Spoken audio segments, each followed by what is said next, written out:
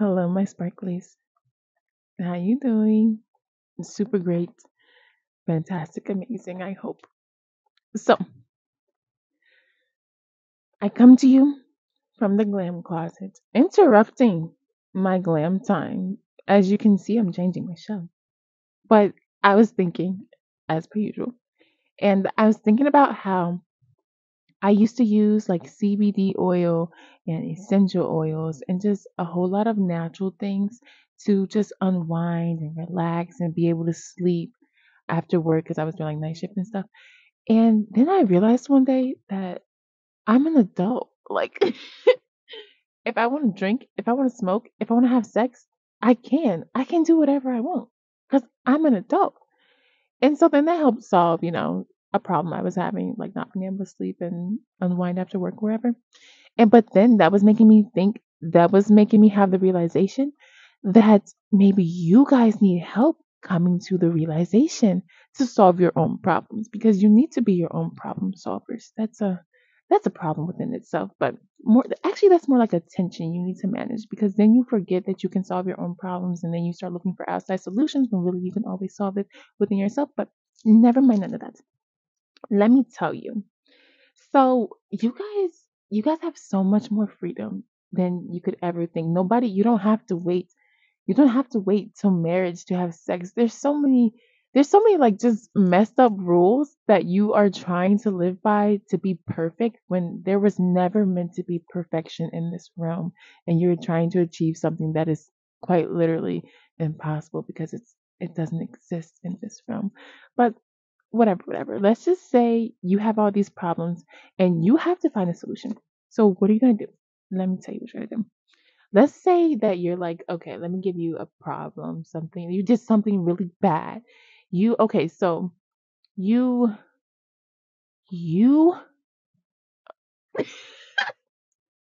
I can't even think of something. I can't even think of something. that's like bad. And that's like that's like fucked up.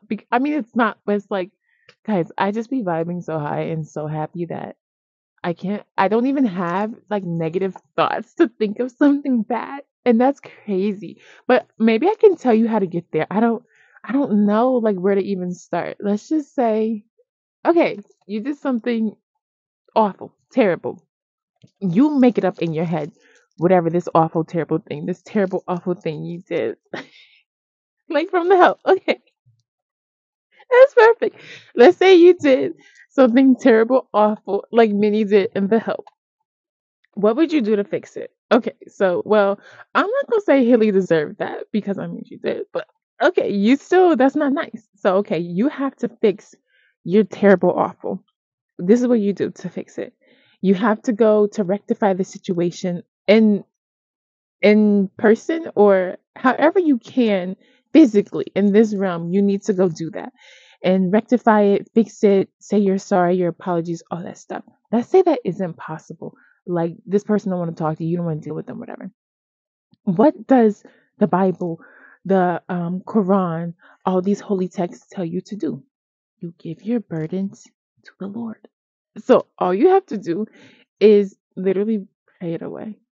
Just pray it away. You just say, you have to repent because you have to you have to atone for what you did.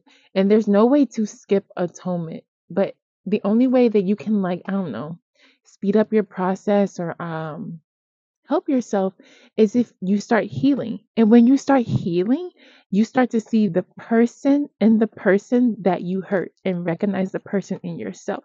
So when you're doing that and you're putting yourself in their shoes and then you feel everything you made them felt well that's because it's being sent back to you from the universe. You cannot stop something being sent back to you because that's what you sent out.